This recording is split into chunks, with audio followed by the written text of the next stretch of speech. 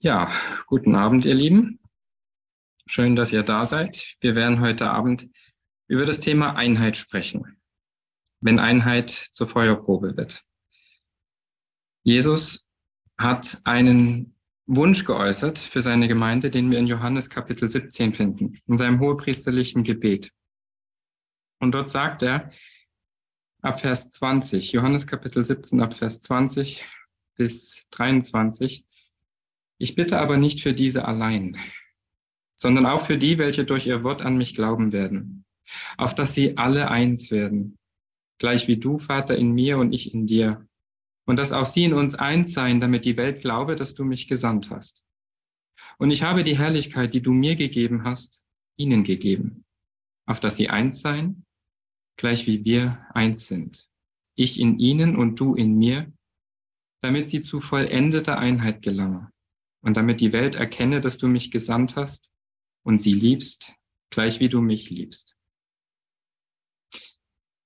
Das Ziel Jesu für seine Gemeinde ist, dass sie zu vollendeter Einheit kommt. Alle Glieder der Gemeinde, egal aus welchem Stamm, aus welcher Nation, egal welche Sprache, Einheit. Einheit ist eines der hohen Ziele das sich Jesus wünscht. Und auch wir freuen uns natürlich darüber, wenn wir Einheit erleben in der Gemeinde, wenn wir Einheit erleben in der Familie, wenn wir Einheit erleben in einem Missionskreis. Und doch ist Einheit etwas, was hart angefochten ist. Einheit ist kostbar und doch ist Einheit fast selten geworden. Und so schnell geht sie kaputt. Warum das Ganze? Warum geht sie so schnell kaputt? Was kann man tun, um Einheit zu schützen, um sie zu bewahren? Das ist das Thema heute Abend. Und ja, wir, wir haben das in den letzten Jahren erlebt, ganz besonders in den letzten drei Jahren, dass es Themen gibt, die ja eine Gemeinde schon fast zerreißen können. Corona, Thema Impfung. Allein diese Worte lassen bei dem einen oder anderen schon den Blutdruck höher werden. Aber es gibt auch andere Themen, die Zerreißthemen sind für die Gemeinde. Wie gehen wir damit um? Wie können wir damit umgehen, um Einheit zu wahren? Um das zu erleben, was Jesus sich so sehnlichst erbeten hat von seinem Vater, dass wir alle zu vollendeter Einheit gelangen. Ich möchte am Anfang eine Aussage von Ellen White stellen, die mich sehr beeindruckt hat, wo sie sagt, wenn aller Stolz und alle Selbstsucht abgelegt werden, lassen sich die meisten Probleme innerhalb von fünf Minuten klären. Es findet sich in frühe Schriften, im Englischen auf der Seite 119. Und es ist doch sehr prägnant. Aller Stolz und alles Selbstsucht, wenn das abgelegt würde in unserem Leben, dann könnten wir die meisten Probleme innerhalb von fünf Minuten klären.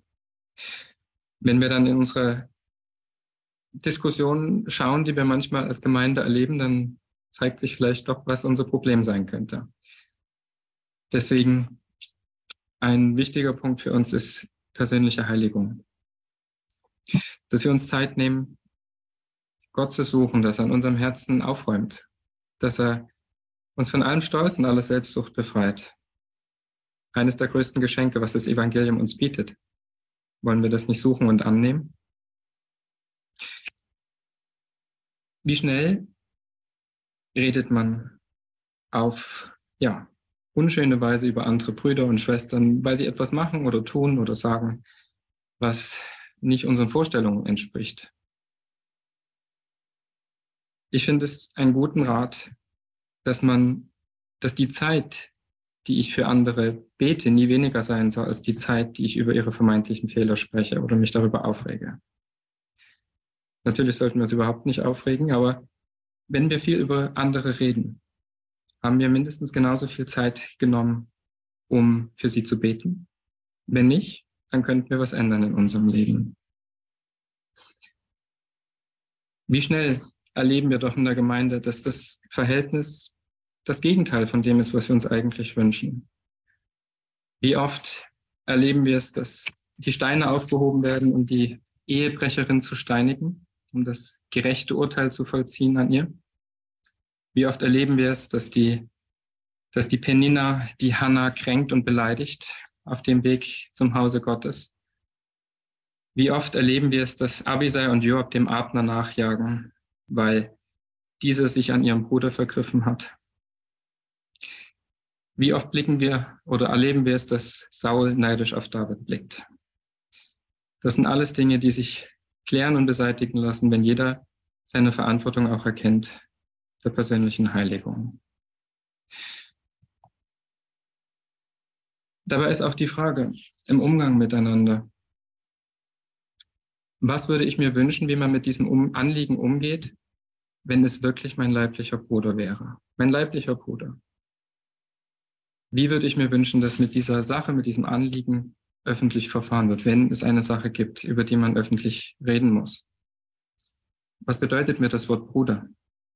Was bedeutet mir das Wort Schwester? Was sollten wir damit verbinden?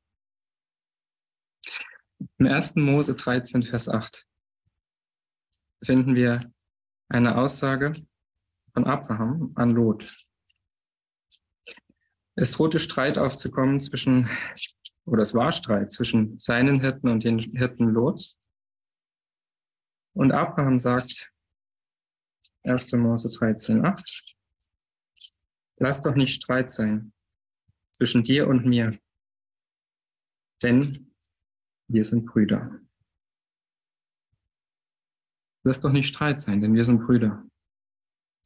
Das sollte die Haltung sein, die uns als Gemeinde prägt. Das ist das, was Brüder untereinander ausmacht. Auch in Apostelgeschichte Kapitel 7 lesen wir, wie Mose das Thema Brüder, das, das, wie er das bewertet hat, was ein Bruder ist, wie man damit umgehen sollte. Apostelgeschichte 7, Vers 25 und 26. Da lesen wir in Vers 26, dass Mose zu seinen Brüdern kam, als sie miteinander stritten und ermahnte sie zum Frieden und sprach, ihr Männer, ihr seid doch Brüder, warum tut ihr einander Unrecht? Wenn man wirklich Bruder ist und Schwester ist, dann ist der andere mir doch genauso viel wert, wie ich mir selber wert bin. Werde ich dann dem anderen Unrecht tun wollen? Nein. Charles Spurgeon hat es so formuliert, dass er gesagt hat, stark und besonders uneigennützig, so ist die Liebe zwischen wahren Brüdern. Auf einen treuen Bruder kann man sich in der Not verlassen. Ein Herz in zwei Leibern, so wird wahre Bruderschaft Wirklichkeit. Ein Herz in zwei Leibern. Eines der schönsten Erfahrungen und doch ist es selten. Was können wir machen, wenn wir sehen, dass die Einheit in der Gemeinde oder in der Familie oder im Freundeskreis zu knicken droht, wenn sie kaputt geht? Wichtig ist, dass wir das gesamte Bild im Blick haben, dass wir den gesamten Ablauf der Ereignisse vor Augen haben und das auch besonnen bewerten. Denn oft sieht es so aus, als ob ein Mann der Schuldige ist wenn man bei genauem Hinblicken sieht oder doch bemerkt, dass die Faktoren viel komplexer sind, die Zusammenhänge viel komplexer sind. Und ich möchte euch heute zu einer Geschichte aus der Bibel mitnehmen, die die Komplexität des Themas aufzeigt. Wir kennen die Geschichte in 2 Samuel Kapitel 15.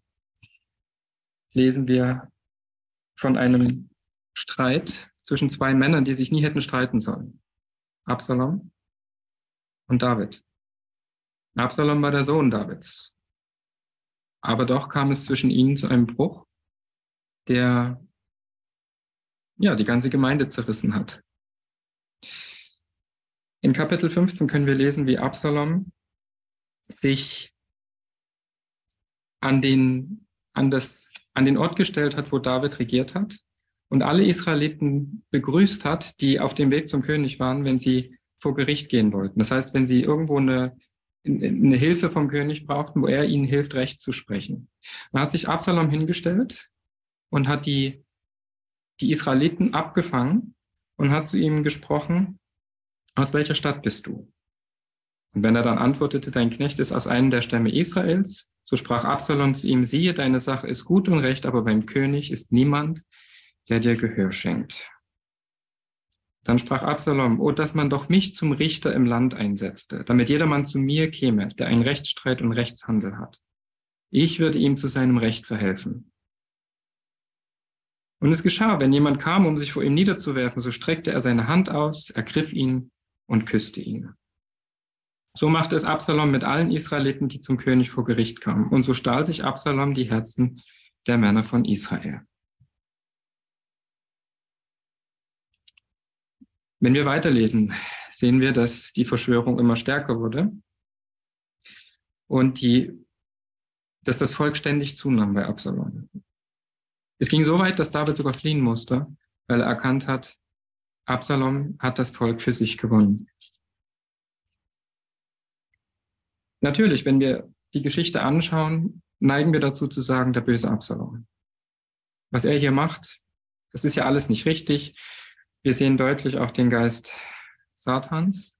Wir sehen genau die Geschichte, die sich im Himmel ereignet hat, wie sich ein hohes Wesen an die Stelle des Gerichts gestellt hat, wo Gott Recht sprechen wollte und gesagt hat, wenn man doch mich zum Richter im Land machen würde, dann würde ich alles besser machen. Wenn doch ich das Sagen hätte, dann würde ich Gesetze erlassen, die viel besser sind als die Gesetze, die der jetzige Machthaber erlässt. Wir sehen den Geist Satans in Absalom und natürlich dürfen wir ihn da auch nicht rechtfertigen darin, aber die Geschichte ist viel komplexer. Denn wo geht das Ganze los? Wo kam es zu diesem, zu diesem Bruch der Einheit zwischen David und Absalom, wo sie doch als Vater und Sohn hätten vereint sein sollen? Nun ja, die Vorgeschichte bringt uns dahin, dass Absalom seinen Bruder umbringt. In einem Racheakt. Er hatte einen Bruder namens Amnon. Das war ein Halbbruder. Und der Amnon hatte sich die Schwester von Absalom, die Tamar, ja, genommen, hat sie vergewaltigt. Absalom als der Bruder von Tamar war darüber natürlich nicht erfreut. Und er hat, wenn man sich die Geschichte anguckt, nachdem Amnon die Tamar vergewaltigt hat, hat Absalom gewartet, was passiert. Und es passierte nichts. Es steht zwar da, dass David zornig war, aber irgendwie handelte David nicht. Zumindest beschreibt die Bibel nicht, dass er handelt. Das können wir lesen in 2 Samuel 13, Vers 21 und 22. Und als der König David das alles hörte, wurde er sehr zornig. Aber Absalom redete nicht mit Amnon, weder Böses noch Gutes, denn Absalom hasste den Amnon, weil er seine Schwester Tamar geschwächt hatte. Ja, und es geschah nach zwei Jahren, da hielt Absalom scharf vor in Baal Hassor. Zwei Jahre lang hatte Absalom Groll im Herzen gehegt gegen seinen Bruder Amnon. Und zwei Jahre lang scheint ihm niemand geholfen zu haben. Und es kam dazu, dass Absalom alle seine Brüder, ein, Brüder eingeladen hat. Und dann hat er seinen Knechten befohlen, Amnon umzubringen. Und das haben sie gemacht. Daraufhin musste Absalom fliehen. Und er floh aus dem Land und kam erst nach, einigen, nach einiger Zeit wieder zurück, weil Joab sich für ihn verwendet hat. Und als er zurückkam, hatte er immer noch diese Bitterkeit im Herzen. Und das hatte ihn dazu geführt, sich dann hinzustellen und die Israeliten abspenstig zu machen. Warum hat David nicht eingegriffen? Warum hat David nicht entschieden recht gesprochen, als Amnon die Tamar vergewaltigt hat? Nun ja, wir brauchen nur ein Kapitel weiter vorzugehen und wir sehen, dass kurz zuvor David sich die Bathseba genommen hat. David hatte sich eine Frau genommen, die ihm nicht gehört. Eine Frau, die er nie hätte als Frau nehmen dürfen, und hat sie geschwängert, hat sie vergewaltigt quasi. Wie hat er als König, nachdem er das gemacht hat, wie hätte er noch Recht sprechen können? Wie hätte er noch mit Vollmacht richten können? In diesem Fall, er konnte es nicht. Er tat es nicht. Und somit wurde Absalom kein Recht geschaffen. Und dieses, diesen Vorwurf, über den kam er nicht weg.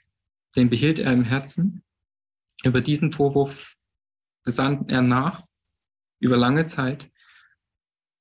Und es, der Groll wurde immer schlimmer, es wurde bitterer. Erst tötete er seinen eigenen Bruder, er schaffte sich Recht.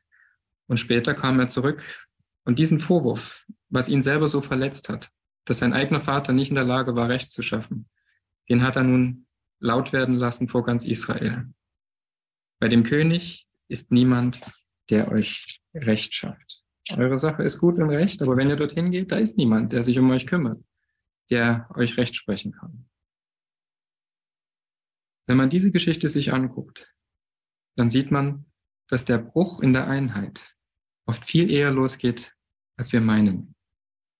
Bei David und Absalom ging der Bruch der Einheit in der Bruch der Einheit darin los, dass er gesündigt hat an Bathseba, mit Bathseba. Er löste eine, eine Kette an Ereignissen aus, die später dazu führte, dass das ganze Land, die ganze Gemeinde zerrissen wurde.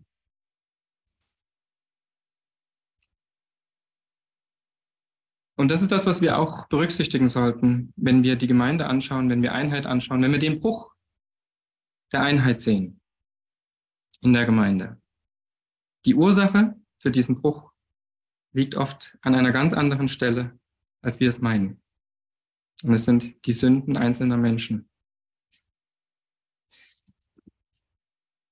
Wenn wir in der Gemeinde merken, dass es einen Bruder oder eine Schwester gibt, oder auch in der Familie, wenn wir merken, dass es da jemanden gibt, über den wir uns aufregen, dann möchte ich euch einen Rat geben.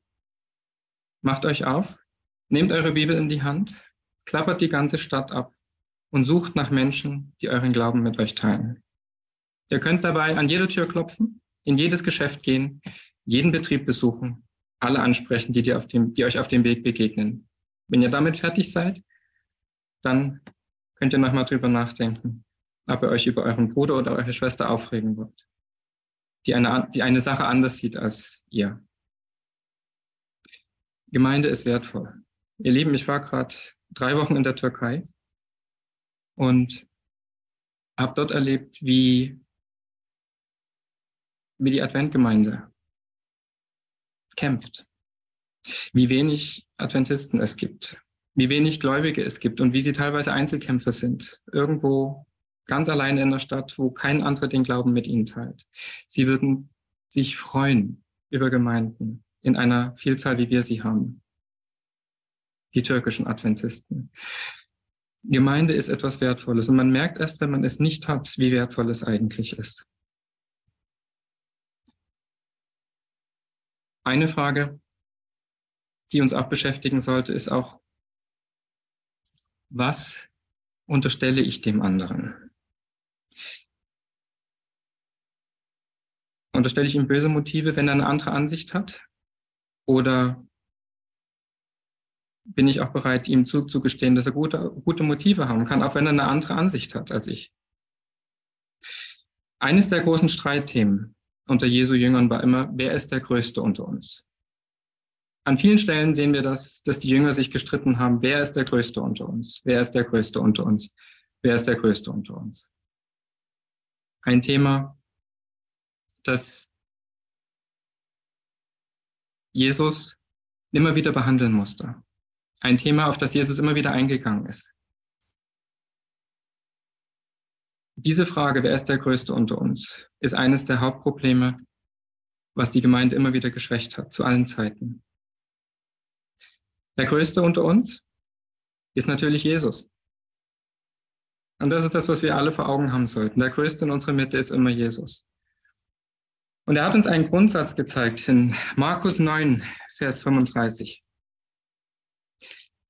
Da sagte er, und er setzte sich und er rief die Zwölf und sprach zu ihnen, wenn jemand der Erste sein will, so sei er von allen der Letzte und aller Diener.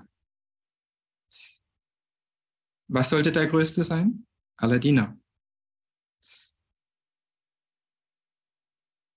Das ist das, was wir sein sollten. Aller Diener. Nicht nach dem höchsten Platz streben und mein, meine Ansicht ist die beste, weil ich halt ich bin und das alles von mir kommt und weil es meine Ansichten sind und das, was ich gelernt habe aus der Bibel, sondern selbst wenn jemand andere Ansichten hat, kann ich dem anderen dienen, kann ich einen Liebesdienst tun, der ihm weiterhilft, wenn er vielleicht sogar die falsche Ansicht hat und wirklich die falsche Ansicht hat.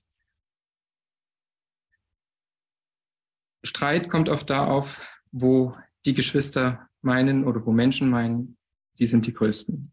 Und sogar die Jünger Jesu haben sich darüber gestritten. Es ist leider etwas, was der menschlichen Natur anhaftet. In 1. Chronik, Kapitel 12, Vers 15 lesen wir einen interessanten Grundsatz. Da lesen wir von den Kriegern, die zu David stießen. Und unter ihnen waren auch von den Söhnen Gads Häupter im Heer. Der kleinste unter ihnen nahm es mit 100, der größte mit 1000 auf. Wer ist der Größte unter uns? Wenn wir die Neigung haben zu meinen, wir sind größer als unsere Bruder, unsere Schwester, unsere Ansichten besser sind, dann dürfen wir es mit 1000 aufnehmen in unserem Liebesdienst. Aber auch der Kleinste darf es noch mit 100 aufnehmen, im Liebesdienst und der Mission. Der Größte nahm es mit 1000 auf, der Kleinste mit 100.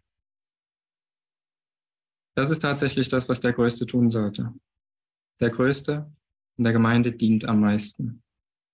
Der Größte ist derjenige, der sich in den Liebestaten auszeichnet und so viel wie möglich Menschen dient in Liebe. Aber auch der Kleinste sollte deswegen nicht aufhören zu dienen. Auch er darf noch viel dienen. Ihr Lieben, die Bibel ist voll mit kostbaren Ratschlägen. Lasst alles bei euch in Liebe geschehen. 1. Korinther 16, Vers 14. Alles in Liebe. Liebe ist das größte Geschenk des Evangeliums, was wir bekommen. Es ist Liebe zu Gott, es ist Liebe zur Wahrheit und es ist Liebe zu den Mitmenschen. Bruderliebe. Was ist Bruderliebe? Wie sieht das aus? Wie sollte das aussehen, was eigentlich die Gemeinde kennzeichnet? Lasst uns mal 1. Samuel aufschlagen. 1. Samuel, Kapitel 18, die Verse 1 bis 4.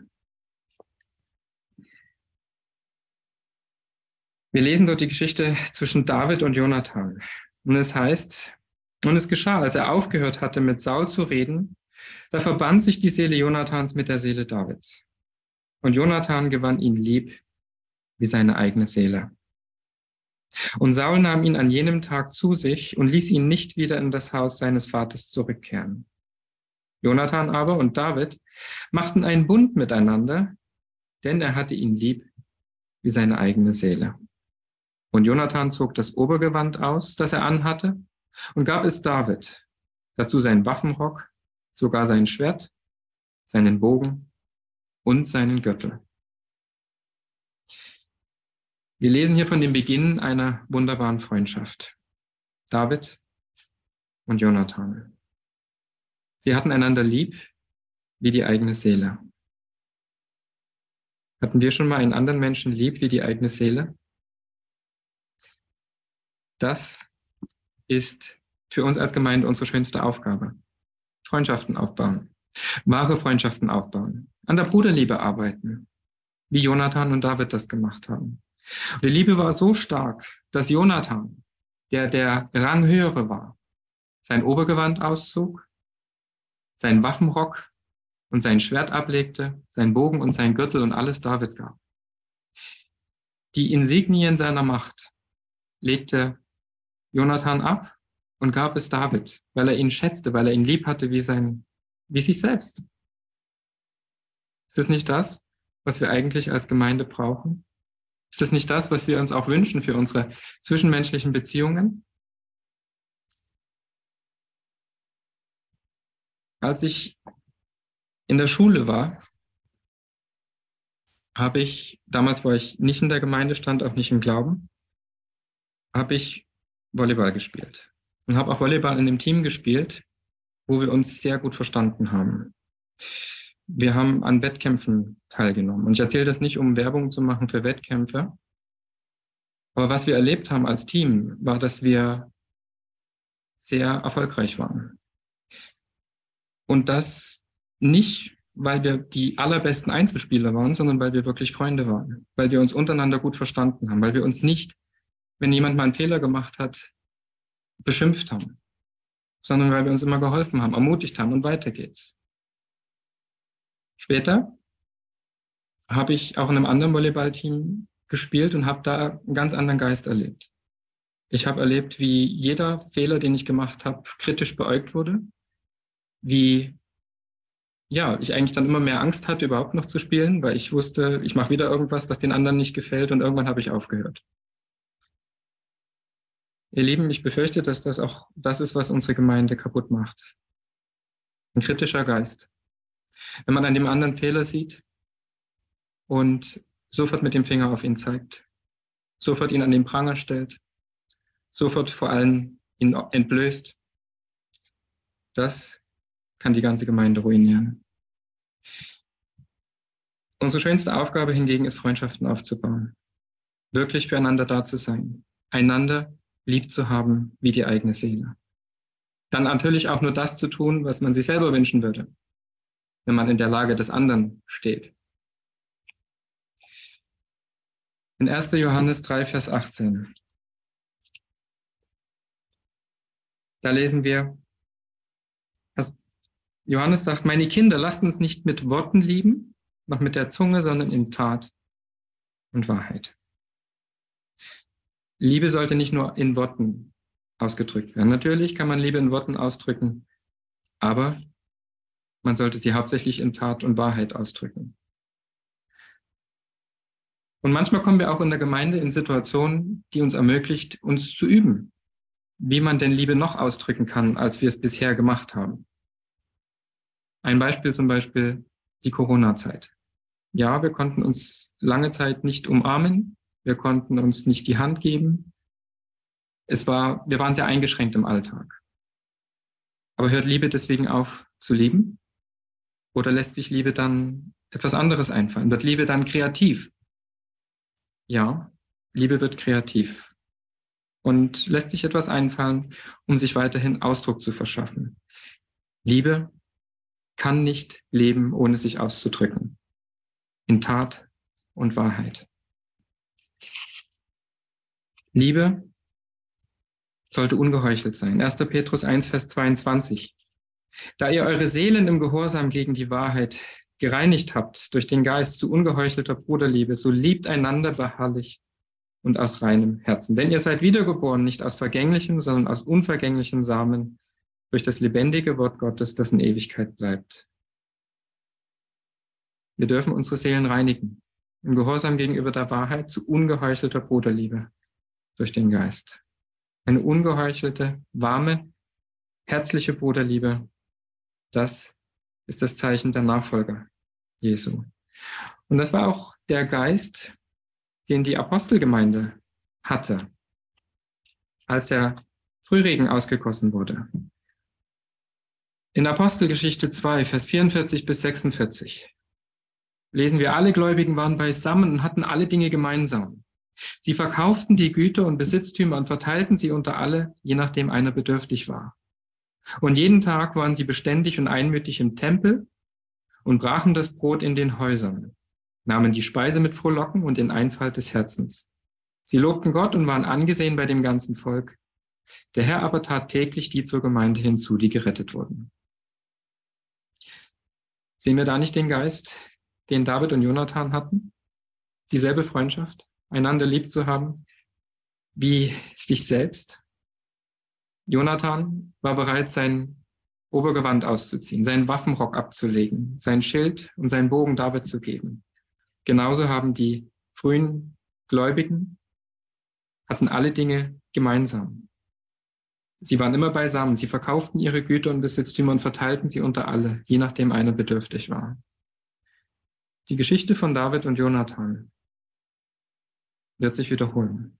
Die Geschichte von David und Jonathan erzählt uns etwas von der Schönheit der Beziehungen, die Gemeinde Freundschaften haben sollten, die wahre Bruderschaft ausmacht. Und das ist auch die Erfüllung des Gesetzes. Denn was sagt das königliche Gesetz? Du sollst deinen Nächsten lieben wie dich selbst. Wenn man einander lieb hat wie die eigene Seele, so wie Jonathan und David uns das vorgemacht haben, dann erfüllen wir das Gesetz. Und wir zeigen, wie kraftvoll das Evangelium ist. Paulus ermutigt die Gläubigen, egal wie weit sie gekommen sind, egal wie stark sie lieben. In 1. 1. Thessalonicher Kapitel 3, Vers 12.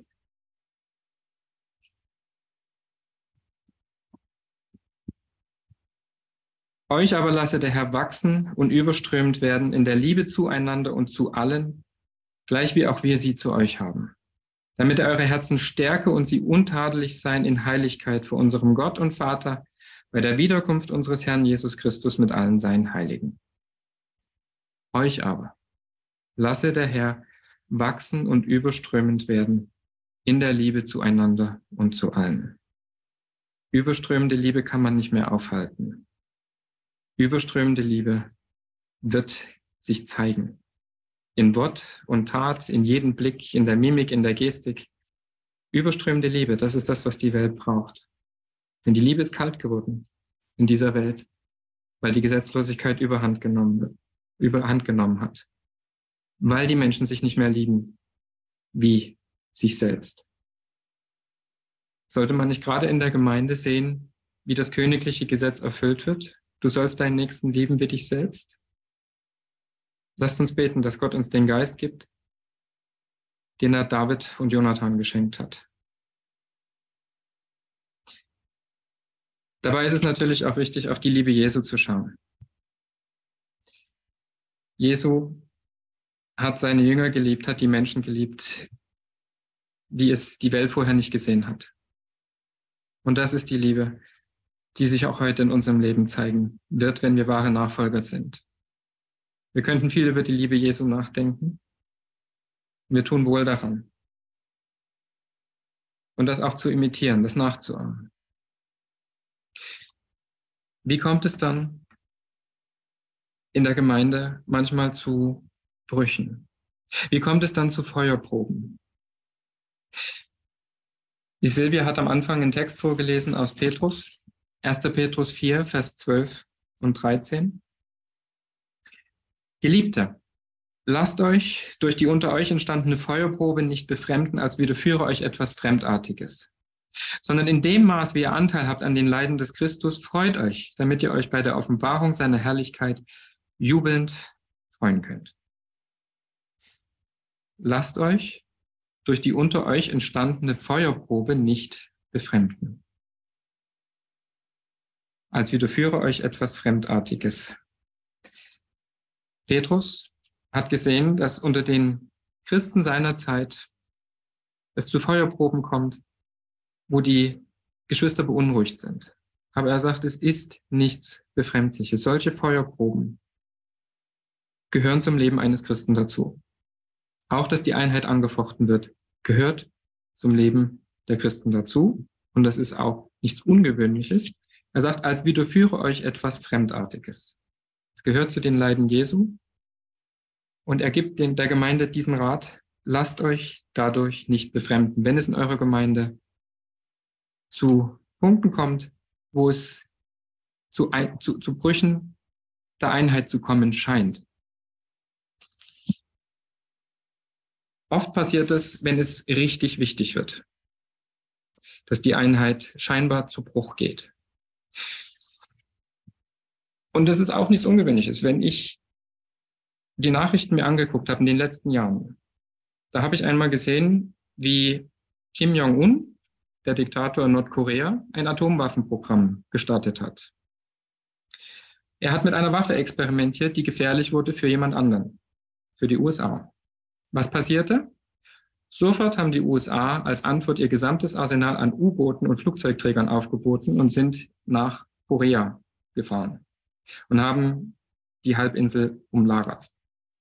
Warum? Weil sie gesehen haben, dass dort mit einer Waffe experimentiert wird, die für sie wirklich gefährlich wird, wenn sie ausgereift wird. Jetzt können wir annehmen, dass Satan und seine Engel nicht weniger intelligent sind als die Amerikaner in diesem Fall, wenn die Gemeinde mit der Waffe, die Gott ihnen in die Hand gegeben hat, das Evangelium, wenn sie damit experimentiert, wenn sie anfängt, sie einzusetzen, wird Satan und seine Engel einfach zuschauen? Oder wird er versuchen, das zu unterbinden? Natürlich wird das versuchen zu unterbinden. Und zwar am Anfang. Er will nicht, dass die Gemeinde herausfindet, wie machtvoll die Waffe ist, die sie eigentlich in der Hand hat. Und sobald ein einzelner Bruder, eine einzelne Schwester anfängt zu verstehen, wie machtvoll das Evangelium ist, wird er ins Visier genommen. Sobald eine Gemeinde anfängt, sich zusammenzuschließen, um das Evangelium zu verkündigen, um die Waffe einzusetzen, wodurch andere Menschen aus der Macht Satans gerettet werden, wodurch andere Menschen ewiges Leben bekommen können, befreit werden können aus den Fesseln Satans, aus dem Reich Satans, wird er sich dann nicht auch aufmachen, um das zu unterbinden? Wird er nicht ankämpfen dagegen? Natürlich. Und das ist was ganz Normales. Und wenn wir als Krieger auf der Seite Jesu stehen, sollten wir uns darauf vorbereiten und sollten uns auch nicht beunruhigen lassen, wenn wir angegriffen werden. Da kommen Angriffe von innen, etliche Versuchungen, da kommen Angriffe von außen, da kommen Kämpfe, Bedrängnisse und unter anderem wird die Einheit ins Visier genommen und wird angegriffen. Geliebte, lasst euch durch die unter euch entstandene Feuerprobe nicht befremden, als widerführe euch etwas Fremdartiges, sondern in dem Maß, wie ihr Anteil habt an den Leiden des Christus, freut euch, damit ihr euch auch bei der Offenbarung seiner Herrlichkeit jubelnd freuen könnt.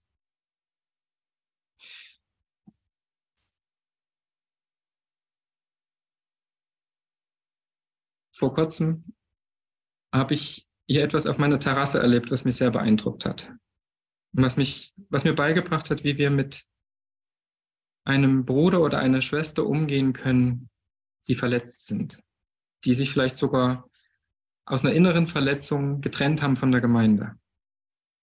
Ich war auf der Terrasse und habe mit einem Mal so einen dumpfen Schlag gehört.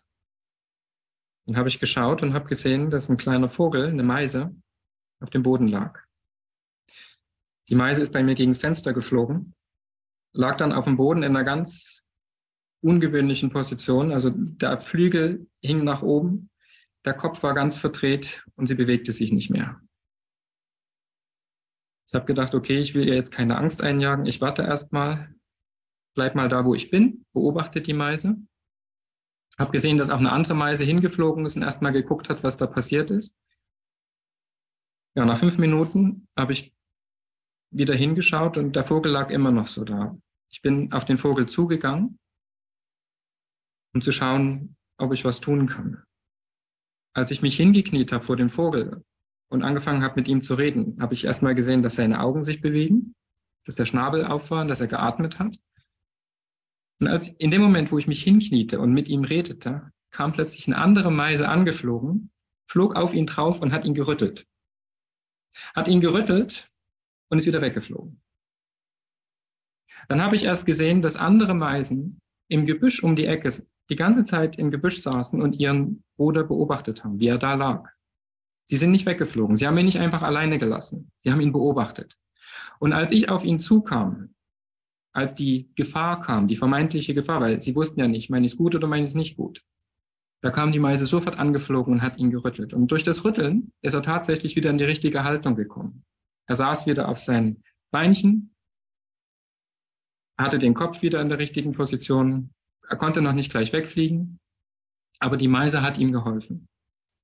Ich bin dann wieder zurückgegangen, habe ihn erstmal in Ruhe gelassen, habe dann gemerkt, wie er sich von Minute zu Minute erholt hat und dann auch wieder weggeflogen ist. Die Meisen haben mir viel beigebracht. Wenn wir einen Bruder oder eine Schwester haben, die sich durch eine innere Verletzung abgewandt haben von der Gemeinde oder aus unserem Missionskreis, aus unserem Bibelkreis, dann ist es weise, in der Nähe zu bleiben. Dann ist es weise, zu beobachten. Und gerade wenn die Gefahr kommt, nochmal zu rütteln, um zu gucken, ob er wieder in die richtige Haltung kommt. Wir können viel lernen.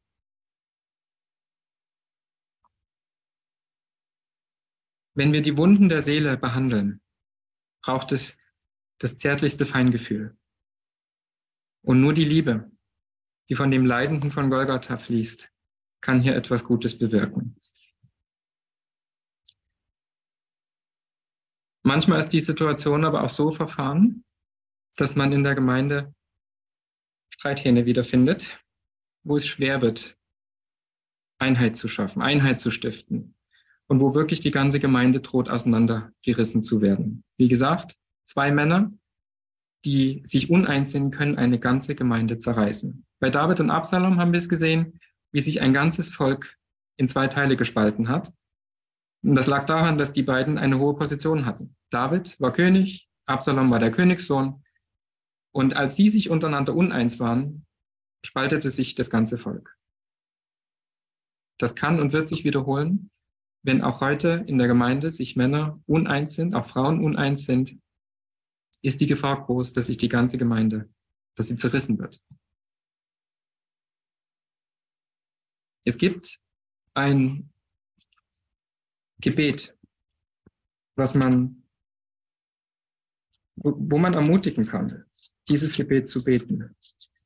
Und zwar diejenigen, die meinen, ihre Ansichten sind so wichtig, dass sie so fest daran festhalten müssen und so stark gegen den anderen ankämpfen müssen, dass wirklich man nur noch Streit und Groll sieht. Und lasst mich euch mal zu Psalm 7 mitnehmen. Psalm 7, Vers 4 bis 6. Das ist ein Psalm Davids und da betet er, Herr mein Gott, habe ich solches getan? Ist Unrecht an meinen Händen? Habe ich dem, der mit mir im Frieden war, mit Bösen vergolten und nicht vielmehr den errettet, der mich nun ohne Ursache bedrängt? So verfolge der Feind meine Seele und ergreife sie und trete mein Leben zu Boden und lege meine Ehre in den Staub. Das war ein durchaus mutiges Gebet von David. Was hat er hier eigentlich gesagt? Herr, wenn ich meinem Bruder Unrecht tue, wenn ich dem, der mit mir im Frieden lebt, mit Bösen vergelte und nicht mehr den errette, der mich ohne Ursache bedrängt, so verfolge der Feind meine Seele und ergreife sie und trete mein Leben zu Boden und lege meine Ehre in den Staub. Wer von euch hat sowas schon mal gebetet? Wenn ich meinem Bruder oder meiner Schwester Unrecht getan habe, so verfolge der Feind meine Seele und ergreife sie und trete mein Leben zu Boden und lege meine Ehre in den Staub. Ein sehr mutiges Gebet. Und dieses Gebet kann man nur sprechen, wenn man wirklich alles daran setzt, den anderen nicht zu übervorteilen. Wenn man wirklich gelernt hat, recht zu urteilen, wenn man wirklich gelernt hat, den anderen zu lieben wie sich selbst. Nur dann kann man dieses Gebet mit Freimut beten. Und ich empfehle dieses Gebet allen Kindern Gottes. Ich empfehle dieses Gebet jeder Gemeinde. Es ist ein Gebet, was großes, große Heilwirkung hat. Gerade dann, wenn Geschwister sich streiten und wenn der Streit auszuarten droht, kann man sie ermutigen, dieses Gebet zu sprechen. Und man wird merken, wie schnell es ruhig wird. Man kann merken, wie schnell Frieden einkehrt und sie nicht mehr weiter streiten. In diesem Gebet ist viel Weisheit. Eine Weisheit, die die Gemeinde braucht. Ja, ihr Lieben, Einheit, ein kostbares Geschenk. Und es ist das, was Jesus sich wünscht und es ist das, worauf Jesus hinarbeitet in seiner Gemeinde. Lasst es mich noch einmal lesen. Es war das große Gebet von Jesus kurz vor seiner Kreuzigung. Ich habe die Herrlichkeit, die du mir gegeben hast, ihnen gegeben, auf dass sie eins seien, gleich wie wir eins sind. Ich in ihnen und du in mir, damit sie zu vollendeter Einheit gelangen und damit die Welt erkenne, dass du mich gesandt hast und sie liebst, gleich wie du mich liebst. Jesus schenkt uns seine Herrlichkeit, damit wir eins sind und zu vollendeter Einheit gelangen. Einheit ist kein Randthema. Einheit ist ein Kernthema im Leben der Gemeinde. Und Einheit ist auch das, was das Werk zum Abschluss führen wird. Natürlich wird es zu Spaltungen kommen, natürlich wird es zu einer Sichtung kommen, aber unter denen, die an der Wahrheit festhalten, wird eine Einheit sichtbar sein, die einzigartig ist. Eine Einheit, die die Welt in Begeisterung versetzt. In der Epheser Kapitel 4 lesen wir das Ziel, das Jesus hat mit seiner Gemeinde und damit möchte ich gern abschließen. Jesus hat der Gemeinde Gaben gegeben.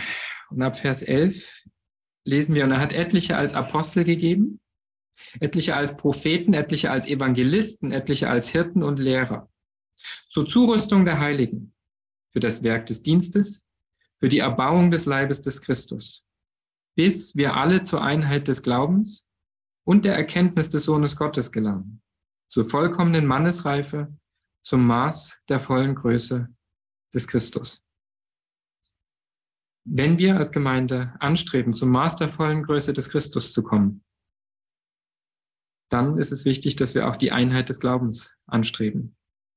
Denn dafür hat Gott der Gemeinde Gaben gegeben. Darauf haben die Apostel hingearbeitet, die Propheten, die Evangelisten, die Hirten, die Lehrer. Und sie arbeiten bis heute darauf hin, dass auf Grundlage der Wahrheit, auf Grundlage der Wahrheit und des Glaubens, wie die Bibel es uns offenbart, die Gemeinde zur Einheit des Glaubens kommt, zum Maß der vollen Größe des Christus, zur vollkommenen Mannesreife. Und wenn die Gemeinde das erlangt, diesen Zustand erlangt, dann wird das Ende kommen. Denn dann wird auch das Evangelium sich in die ganze Welt verbreiten. Es geht Hand in Hand, kann man nicht trennen. Das Evangelium wird verkündigt und es wird von einer Gemeinde verkündigt, die zusammensteht. Lasst uns Gott anflehen, dass er sein, das Geheimnis des Evangeliums an uns vollendet, damit wir bald nach Hause gehen können und dass wir schon zuvor zur mastervollen Größe des Christus heranreifen. Gott segne euch und stärke euch. Amen.